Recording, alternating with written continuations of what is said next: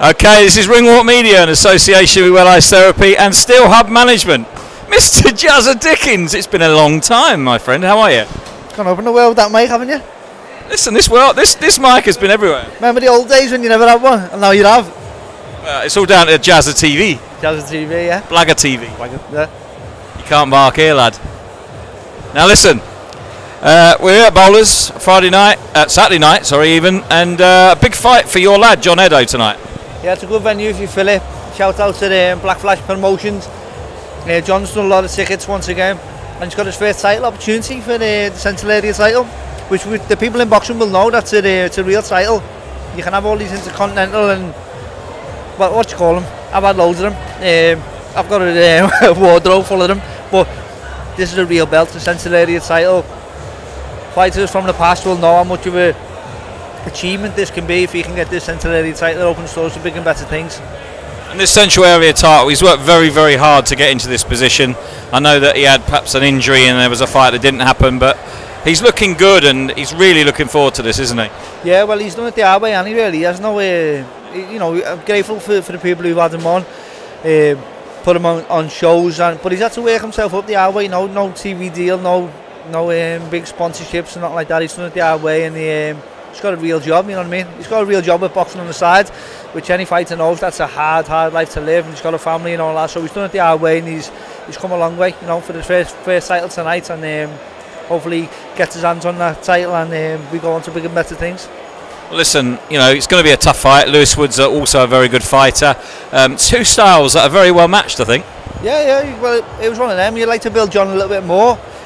When Pat phoned me to make the make the fight with John, it was like we wanted more rounds. We to get him a six rounds. Only being four rounds. We want to get him a six and eight, a few six, a few eights, and, and then go in ten, ten rounds. But Lewis Woods is in the same boat as John, so it's something like either either fighter can come back from that and he can still continue to work himself back up, you know what I mean? But um, it was something that we couldn't turn down, it was something that he couldn't turn down, and um, Pat's 300, Pat, Pat Barrett's three years, or three, 300 show anniversary, is it? It's the 10th anniversary, 10 years.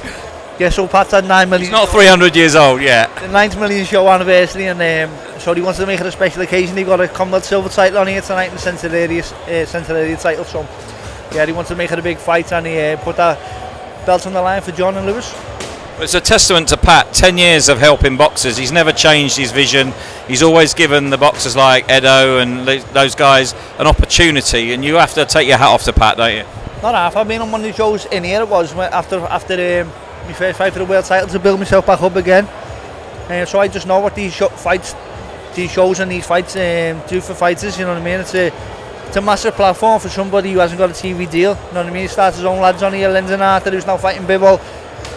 Um, his nephew, Zelfa, he, he's a good fighter too, now signed with Matchroom, and he's um, Pat deserves more credit than he gets because he also deserves a television deal, you know.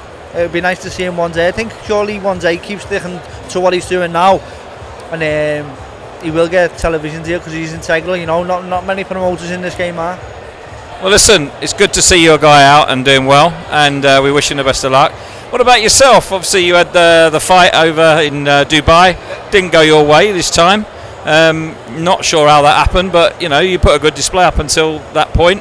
Have you got a rematch? Are you going to get yourself back in there? Yeah, we have a re- rematch closed. We're um, just waiting now for the um, television date. The television promotional company to pick the fights up. The IBO World Title rematch. Um, and, and it is what it is. Sometimes you win, sometimes you lose. You know what I mean? And I'll be back here. I've done it four times before. I know they're all back, and um, I will do. I'll, I'll make myself um, IBO world champion two times, and um, go on to unify.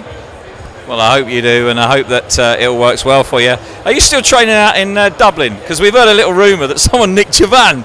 Yeah, well, I left my van in Dublin and uh, came back to get it. I was going to the Conlan fight uh, last week. Was it last week? Oh, 10, 10 days, two weeks ago, something like that.